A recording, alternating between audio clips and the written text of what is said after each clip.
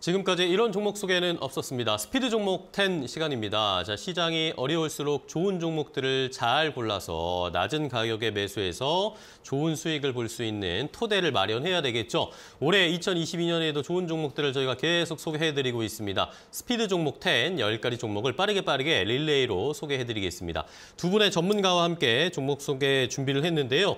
오늘은 KTB 투자증권의 이성웅 차장 그리고 코스파트너스의 김진경 본부장과 함께 하도록 하겠습니다. 두 분 안녕하세요. 반갑습니다. 네, 안녕하세요. 반갑습니다.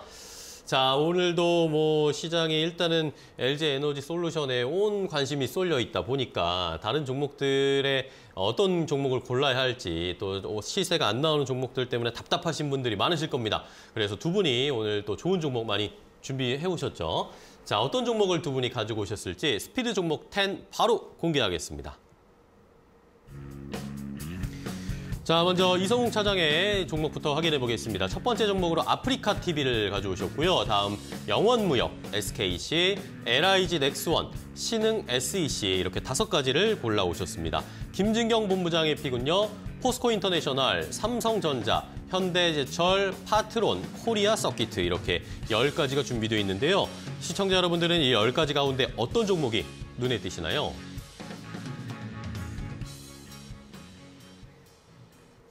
자, 두 분의 전문가께서 엄선해서 가지고 오신 10가지 종목을 함께 보셨습니다. 시청자 여러분들이 이 10가지 종목 가운데 내가 더 궁금하고 알고 싶은 종목이 있다 하시는 분들 아니면 목표가, 매수가도 궁금하다 하시는 분들은 저희에게 질문 보내주시면 되겠습니다. 유튜브 라이브 댓글창에 직접 질문을 적어주셔도 되고요. 아니면 샵 3772번 문자로 궁금한 점을 질문 주시면 저희가 최대한 그런 내용 자세하게 알려드릴 테니까요. 저희 방송 잘 활용하시면서 궁금증도 해결해 보시기 바랍니다.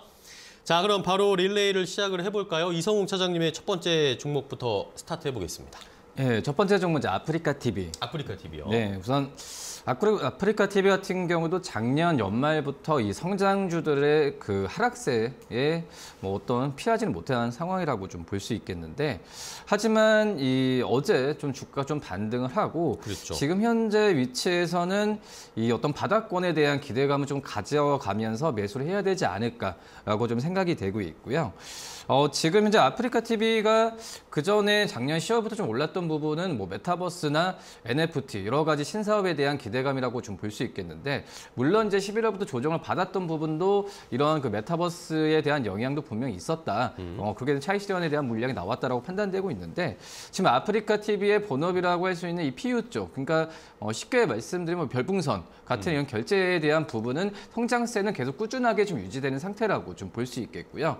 그리고 신사업 이라고 할 수 있는 NFT나 메타버스에 대한 사업 부분도 어, 완만하게 지금 진행을 하고 있는 상태라고 볼 수 있겠습니다. 음. 뭐 구독자, 뭐 가- 회- 회원 수나 아니면 또 이제 BJ들에 대한 수가 늘어나면서 이 어떻게 보면은 이 IP를 활용한 이 메타버스나 NFT 사업에 대한 진출에 대한 부분에 있어서는 잘 지금 진행이 되고 있다라고 좀 판단이 되고 있고요. 뭐 그러기 때문에 어떤 본업, 뭐 이런 별풍선 또 이제 광고 쪽에서의 플랫폼 효과도 그렇지만은 이 신사업 쪽에서의 기대감을 한층 더 갖고 간다면은 충분히 매수 관점으로 들어가도 이 괜찮지 않을까 이렇게 판단됩니다. 좋습니다. 자, 첫 번째 종목으로 이성웅 차장님은 아프리카 TV를 가지고 오셨습니다. 어제 또 좋은 시세를 한번 뿜어줬는데요. 앞으로의 추이, 뭐 NFT나 메타버스와도 엮일 가능성이 충분한 아프리카 TV를 잘 살펴보자라는 의견 주셨고요.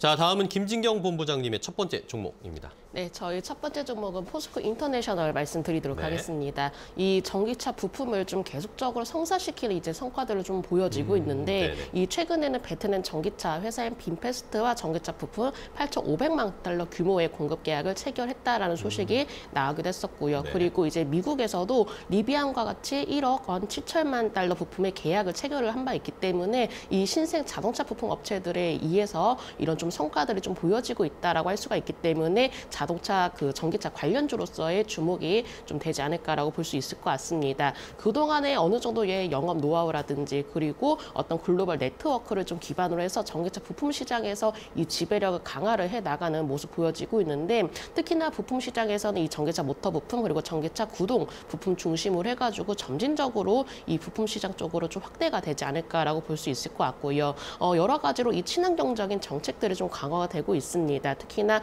북미라든지 유럽 지역에 좀 대응하는 모습 보여지고 있는데 워낙에 이 안정적인 공급망 자체를 확보해놓은 상황에서 글로벌 전기차 부품에 따른 시장 점유율을 확대해 나가겠다는 계획을 보였기 때문에 오히려 앞으로는 이 친환경적인 사업 쪽에 대해서도 더욱더 두각을 나타내지 않을까라고 볼 수 있을 것 같고요. 올해에도 역시나 유명 전기차 이 회사들로부터 추가적인 수주가 기대가 되고 있다라고 합니다. 향후 전기차 부품 시장에서의 어떤 시장 점유율을 확보할 수 있는 ESG 경영에도 기여할 수가 있다라고 보여지고 있기 때문에 이런 친환경적인 사업을 지켜보시면 좋으실 것 같습니다. 좋습니다. 포스코 인터내셔널 관련해서 좋은 의견을 주셨습니다. 친환경차와 관련된 친환경 부품 이런 것들을 그리고 전기차 부품 잇따라 수주 소식을 들려주면서 좋은 흐름을 보여주고 있는 포스코 인터내셔널 주셨고요.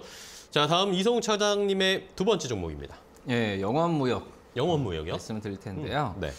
어, 우선 영업 무역이 그 작년에 거의 그 중반부터 거의 횡보 상태가 지금 됐다라고 볼 수 있겠는데 뭐 이런 부분은 이제 의류 업체들도 주가가 좀 비슷했죠.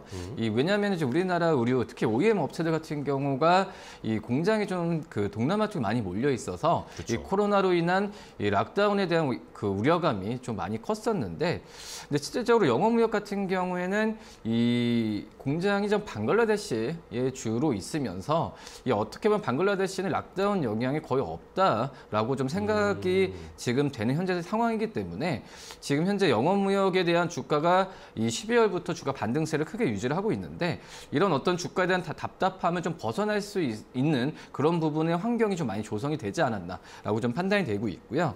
어, 우선 이 영업무역 같은 경우에는 뭐 의류 쪽이나 여러 가지 면에서 스포츠웨어 쪽에서도 안정적인 실적 유지하고 있고 어, 여기에 좀 플러스로 한다면 스카치죠.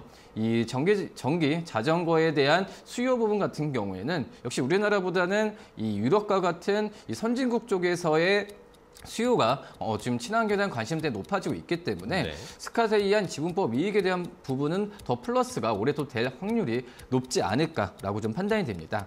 이 우리 업체 전체적으로 봤을 때도 이제는 다시 한번 좀 반등 기미를 어, 좀 크게 가져가야 될 시기이지 않을까라고 판단되고 있고요. 미국 같은 경우에도 이제 의류에 대한 재고 부분 같은 경우도 바닥 수준이기 때문에 네. 그 전에 우려감이 어떻게 보면 좀 바뀌어야 되지 않을까 이렇게 보입니다. 네, 좋습니다. 자, 영업무역까지 이성웅 차장님의 이야기를 들어봤습니다. 자, 저희가 종목 소개해드리는 중에 중국 쪽에 시장이 개장을 해서 확인 좀 하고 가겠습니다. 중국 상해 종합지수는 소폭 상승 0.01% 상승 출발을 하는 상황입니다. 큰 폭의 상승은 아니고요. 3,541포인트 선에서 출발했고요. 홍콩 항생지수도 역시 상승 출발 강보합권에서 0.23% 상승하면서 출발을 하는 상황입니다. 자, 오늘 뭐 동아시아 일본 니케이 지수도 0.6%대 상승세를 나타내고 있고 전체적으로 상승하는데 우리 시장만 또 힘이 없습니다. 코스피가 하락 전환하면서 0.14% 약보합권으로 전환했고요. 2,886포인트까지 지수가 좀 내려오고 있는 상황인데 뭐 어제 오늘 뭐 내일까지도 역시 LG 에너지 솔루션에 아무래도 관심이 쏠리는 상황이 계속 이어질 것으로 예상이 됩니다. 코스피가 약보합권으로 전환했다라는 것까지 체크를 해드렸습니다. 자, 그럼 계속해서 종목 소개 이어가도록 하겠습니다. 이제는 김진경 본부장님의 다음 종목 들어볼까요? 네, 두 번째 종목 삼성전자 말씀드리도록 삼성전자요? 하겠습니다. 네, 이제 네. 디램이라든지 파운드리 업황 네. 개선에 따른 기대감이 나타나고 있는 상황인데요. 이 반도체 업종에 대한 어떤 기간 조정은 어느 정도 마무리가 되지 않았나라고 볼수 있을 것 같습니다. 음. 네. 오히려 이번 이렇게 좀 조정기에는 새롭게 좀 기회가 될 수도 있지 않을까라고 볼수 있을 것 네. 같고요. 특히나 이 비메모리 사업의 경우가 이 단가 상승이라든지 뭐 수율 개선에 힘입 어서 어느 정도 수익성도 기대가 된다라는 점 말씀을 드리도록 하겠고 특히나 삼성전자 하면 이제 스마트폰 사업을 좀 빼놓을 수는 없을 것 같습니다. 이 스마트폰 사업에서도 폴더본 스마트폰 판매가 또 본 궤도에 좀 진입한 상황이기 때문에 안정적인 실적 역시도 올해가 기대가 된다라고 말씀드리겠습니다. 어, OLED에 대한 수요 확대로 인해서 어느 정도 성과도 좀 기대가 되고 있는 상황이고요. 특히나 삼성전자가 인사제도라든지 뭐 조직 개편을 마무리를 하고 이 로봇과 같이 신수종 사업에도 좀 낙점을 독점을 하는 모습 보여지고 있는데 여러 가지 이렇게 좀 새로운 사업 쪽으로 좀 계획을 확대를 해 나가는 모습 보여지고 있습니다. 시스템 반도체라든지 뭐 로봇이라든지 인공지능, 어, 인공지능 이제 차세대 통신을 중심으로 해서 미래 먹거리를 확보해 나가는 모습 보여지고 있기 때문에 기존 사업과 함께 또 새로운 사업 속에서도 올해는 어, 역시나 성장성이 좀 기대가 된다라고 말씀을 드리도록 하겠고요. 역시나 지금 시장 속에서 대형주를 순환매가 돌아가고 있고 지금 잠시 쉬어가는 모습 보여지고 있기 때문에 지금부터는 중장기적으로 지켜보셔도 좋겠다라는 점 말씀드리도록 하겠습니다. 좋습니다. 삼성전자를 김진경 본부장님은 소개를 해주셨습니다. 오히려 이런 때 약간 정체되어 있을 때 좀 모아가자라는 의견, 반도체와 관련된 우려는 이제 거의 다 불식되었다라는 평가를 해주셨습니다. 삼성전자 봤고요. 자, 다음 종목 갈까요? 이성웅 차장님, 다음 종목 뭐죠? 어, 좀 SKC SKC요? 예, 한번 좀 봐야 될 텐데요. 좋습니다. 우선 어, SKC가 좀 4분기 때는 영업이익이 한 1,200억, 그 전분기 대비해서도 뭐 20% 가까이 좀 빠질 것으로 판단되고 있는데 어, 우선은 이 4분기 때 실적에 대한 부분은 어, 본업은 괜찮습니다. 뭐 어떤 스프레드나 이런 부분 같은 경우에는 큰 변화가 없다라고 좀 생각이 되고 있고요. 다만 이제 어, 신규 육공장에 대한 영업 비용이 들어갔기 때문에 이 4분기 실적이 전분기 대비 그 작년 4분기 실적이 작년 3분기 대비해서 어, 떨어진다는 평가가 많은데 결론으로 본다고 한다면 올해 이제 1, 2분기 때는 이 부분을 지금 회수하는 그런 시기라고 좀 볼 수 있어서 어, 주가가 좀 12월 초부터 떨어졌지만은 이제 올해 1분기, 2분기 실적, 그러니까 작년 4분기가 아직 발표가 안 됐지만은 올해 1분기, 2분기 실적을 먼저 체크를 한다면은 음, 지금 현재 주가 빠졌을 때 매수 관점으로 접근해도 크게 무리가 없지 않을까라고 좀 생각이 되고 있고요. 본업은 좋습니다. 뭐 동박설비나 여러 가지 이 증설에 대한 부분은 어, 분명히 올해 회수가 되는 그런 현재 시기라고 좀 볼 수 있겠고요. 또 이제 어떤 판매 가격까지 상승을 하고 있기 때문에 그 시기가 더 빨라질 가능성이 분명히 크지 않을까라고 좀 생각이 되고 있습니다. 물론 이제 이 SKC가 어떤 그 프로필렌 여러 가지 화학 제품을 하겠지만은 지금은 2차 전지 그리고 어떤 반도체 글라스 기판까지 사업을 진출하고 있기 때문에 어떤 종합 화학 회사로서 실적에 대한 가시화가 올해는 분명히 올라갈 것으로 판단되면서 이 SKC 어 좀 이제 주가가 어떤 그 기술적 분석도 해봐야겠지만 매수 관점 접근해도 괜찮지 않을까 이렇게 보입니다. 좋습니다. 종합화학회사로서의 입지를 강화하면서 주가가 좀 반등할 수 있을지 SKC 오히려 저가에 좀 담아보자라는 의견 이성웅 차장님이 얘기해 주셨고요. 자, 다음 종목 하겠습니다. 김진경 본부장님의 세 번째 종목입니다. 네, 저희 다음 주뭐 현대제철 말씀드리도록 현대제철이요. 하겠습니다. 어, 이 중국의 추가 경기 부양책 발표로 인해서 업황에 따른 기대감이 나타나고 있는 상황인데 특히나 이 자동차용 반도체 공급이라든지 글로벌 물류 시스템 정상화가 예상이 되고 있습니다. 이 완성차가 또 업황의 개선이 된다면은 현대제철에도 수혜가 기대가 음. 되고 있는데요. 특히나 올해는 현대차, 기아차 모두 이제 10% 이상의 어, 판매량 증가율을 목표로 하고 있기 때문에 이로 인해 서 실적 개선 또한 좀 기대가 되고 있고요. 또 어, 최근에는 새로운 기술력까지도 좀 보여지는 모습 나타냈습니다. 이 자체 생산하는 LNG 저장 탱크용 극전 철강제인 9% 니켈강이 한국가스공사의 품질 인정을 좀 받았었는데 어, 향후에는 이 가스공사의 설계로 진행이 되고 있는 국내 외적으로 다양한 프로젝트의 강제를 공급을 할 수 있는 자격을 확보했다라고 볼 수 있을 것 같고요. 특히나 이제 작년 9월에도 이 현대중공업이 건조 중에 있는 LNG 추진 어, 초대형 컨테이너선의 대형 연료 탱크용 소재로 9% 니켈강을 공급을 한 이력이 있습니다. 이렇게 여러 가지 기술력 또한 현재 좀 인정받고 있고 또 완성차 업체들의 업황 회복에 따른 기대감 또한 수혜로 좀 작용될 수 있겠다라고 말씀을 드리도록 하겠고요. 그리고 전 세계적으로 이 연비에 대한 규제가 강화가 되고 있기 때문에 지금 핫스태핑 강에 대해서 투자도 활발히 진행이 되고 있다고 합니다. 역시나 이 현대제철도 마찬가지로 이 미래 성장 동력으로 이 친환경과 관련된 기술을 좀 낙점한 상황이기 때문에 여러 가지 부분에 대해서 사업 추진 속도는 더욱더 빨라지지 않을까라고 볼 수 있을 것 같습니다. 좋습니다. 현대제철도 역시 살펴보자라는 김진경 본부장님의 세 번째 종목 소개였고요. 자, 이번에는 이성웅 차장님의 네 번째 종목으로 가겠습니다. 네, LIG 넥스원. LIG 넥스원이요? 어, 어제 그 어제 방산주들의 좀 주가 상승이 좀 좋았었죠. 그쵸. 이, 아, 이 아랍에미리트로부터 이 4조 원대 수출에 대한 부분에 있어서 굉장히 큰 금액이거든요. 역대 최고 방산주들의 어떤 단일 계약으로는 좀 크지 않나라고 판단이 되고 있고요. 어, 지금 이제 근데 방산주가 음, 예전만큼의 힘은 못 받는 건 사실입니다. 우선 지난주도 그렇고 뭐 북한에서 미사일 뭐 도발이 있었지만은 방산주들이 그 전만큼의 상승세는 어, 안 간다라고 볼 수 있겠는데 그만큼 이제 어떤 시장의 어, 시장이 어떤 테마로서 이 유동성이 몰리는 그런 장세는 아니라고 좀 생각이 되고 있고 그렇기 때문에 이 방산주에서의 이 종목 같은 경우도 슬림화를 좀 해야 되는 부분이 분명히 맞다라고 좀 생각이 되고 있고요. 네. 물론 이제 방산주로서도 이 대형주도 많은 상태에서 저는 이제 개인적으로 LRG 넥스원이 가장 좀 펀더멘탈상으로 좀 단단하지 않나라고 좀 생각이 되고 있는데 어, 우선 작년 4분기 매- 영업이익 같은 경우에도 250억 이상은 지금 나올 것으로 좀 판단이 되고 있고요.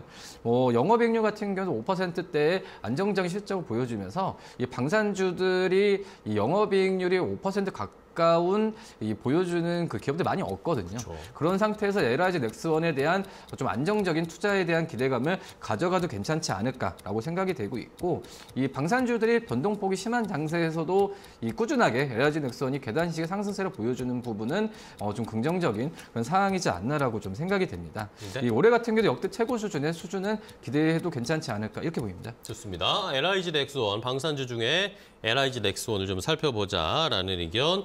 어, 시- 수익성도 개선되고 있고 뭐 수주 소식들도 계속 이어지고 있기 때문에 살펴볼 만한 종목으로 LIG 넥스원을 소개해 주셨습니다. 자 이제는 어, 김진경 본부장님의 네 번째 종목으로 갈까요? 네, 저희 네 번째 종목 파트론 말씀드리도록 파트론이요? 하겠습니다. 이 카메라 모듈 제조 기업인데 이 고객사의 스마트폰 점유율 확대로 인해서 수혜가 기대가 됩니다. 왜냐하면은 주 고객사가 바로 삼성전자이기 때문인데요. 최근에 이 스마트폰 점유율을 보면은 이제 삼성전자나 애플이 여전히 선전하는 모습 보여지고 있고요. 그렇기 때문에 고객사 이 스마트폰 출하 동향이 워낙에 긍정적이기 때문에 올해도 마찬가지로 실적 개선이 기대가 된다라는 점 말씀드리도록 하겠습니다. 그리고 더욱 더 좀 기대를 해볼 만한 게 바로 저가 모델에서도 이 고화소 카메라가 채용이 된다라고 하는데요. 특히나 손떨림 보정 기능이 확대가 되면서 여러 가지로 이제 ASP가 이제 상승 효과가 좀 기대가 된다라고 말씀을 드리도록 하겠고요. 그리고 파트론이 이제 카메라 모듈 사업 쪽에서는 물론 안정적인 또 매출을 확보했는데 이 최근에는 새로운 사업에 대해서도 매출 확대도 긍정적으로 볼 수 있을 것 같습니다. 특히나 전장 부품 쪽으로 확대가 되고 있는 상황에서 이 회사의 경우가 바로 전장 카메라와 차량용 LED 모듈을 생산 하고 있기 때문인데요.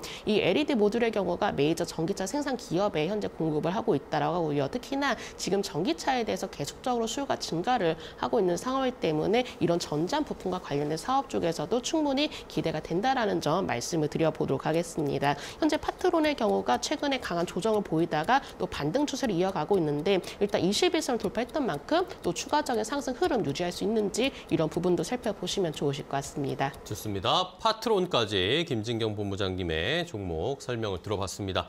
자, 여러분들 잘 듣고 계십니까? 여러분들 듣고 계신 종목, 아, 소개받고 있는 종목들 중에 궁금한 점이 더 있으신 분들은 저희에게 유튜브 라이브 댓글창도 좋고요. 아니면 문자 샵 3772번으로 질문을 보내주세요. 뭐 가지고 계신 종목 중에 어 이거 목표가 어느 정도로 잡아야 됩니까? 아니면 어 이거 매수하고 싶은데 매수가 어느 정도로 잡을까요? 라는 질문도 좋으니까요. 저희에게 주시면 저희가 최대한 자세하게 설명을 드리도록 하겠습니다.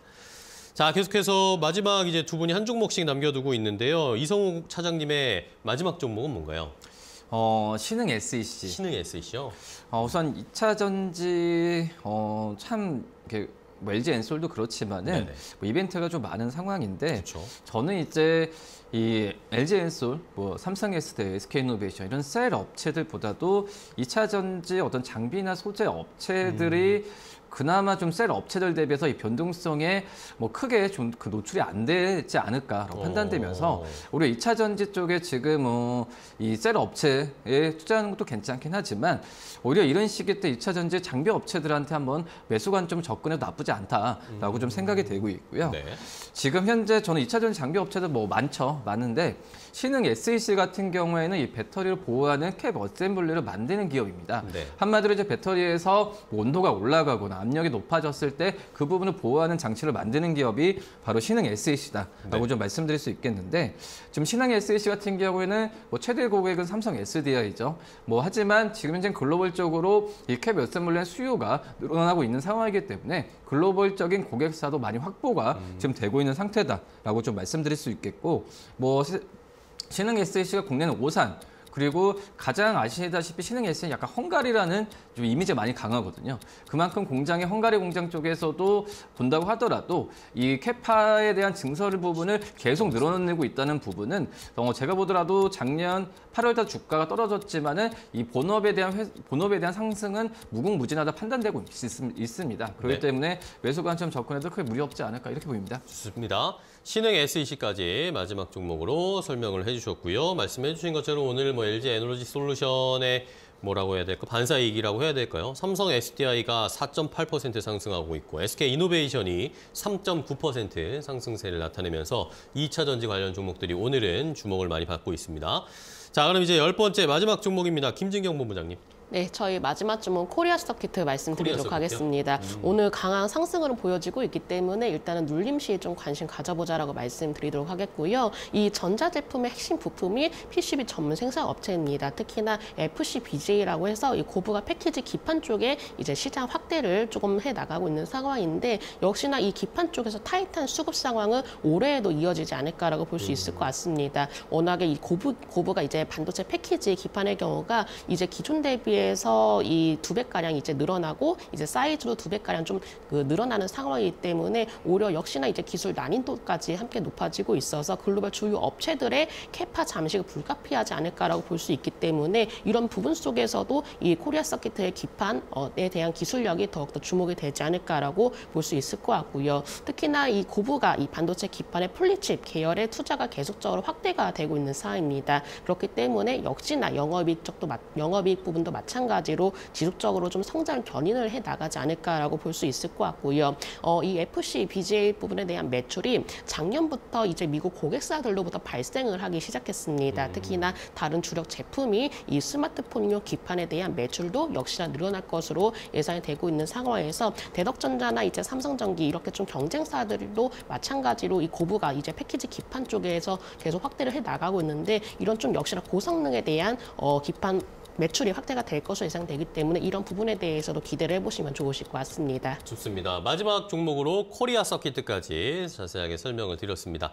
자, 10가지 종목을 오늘 모두 다 소개를 해드렸습니다. 시청자분들 어떤 종목이 더 관심이 있으신지요? 잘 관심 종목으로 골라보시고요. 자, 10가지 종목 중에 그러면 마지막으로 두 분의 top pick 종목을 꼽아보고 마무리하도록 하겠습니다. 이성웅 차장님은 어떤 종목 top pick으로 고르셨어요? 어, 저는 영원무역 영원무역이요? 네, 말씀을 드리도록 하겠고요. 네. 뭐, 뭐 지금 말씀드린 종목들 중에서 뭐 몇 개 안 되는 어떤 좀 상승 추세를 가고 있는 음. 지금 시장에서도 어떤 경기와 좀그 그 경기 어떤 제조업체와 틀리게 그런 민감주로서 그 방어주로서 접근해서 무리가 없지 않나 음. 이렇게 보입니다. 좋습니다. 추세적으로 지금 좋은 흐름을 나타내고 있는 영원무역 주셨고요. 김진경 본부장님. 네, 저는 코리아써키트 말씀드리도록 코리아써키트. 하겠습니다. 이 반도체 쪽에 대해서 계속적으로 고성능, 이제 고사양 쪽으로 좀 매출이 증가하고 있는데 역시나 기판도 마찬가지로 이런 흐름을 따라가야 되기 음. 때문에 이에 대한 수혜가 기대가 된다라는 점 말씀드리도록 하겠습니다. 알겠습니다. 자, 김진경 본부장님은 코리아써키트, 이성훈 과장님, 차장님은 영원무역 이렇게 오늘 top pick 종목 골라주셨으니까요. 시장에서 한번 잘 살펴보시고 좋은 타이밍에 매수해보시거나 관심 종목에 꼭 넣어보시기 바랍니다. 자, 오늘 두 분과 함께 종목 10가지 소개를 드렸습니다. 좋은 종목 소개해 주셔서 두 분 감사하고요. 다음 시간에 두 분 또 뵙도록 하겠습니다. 고생 많으셨습니다. 고맙습니다.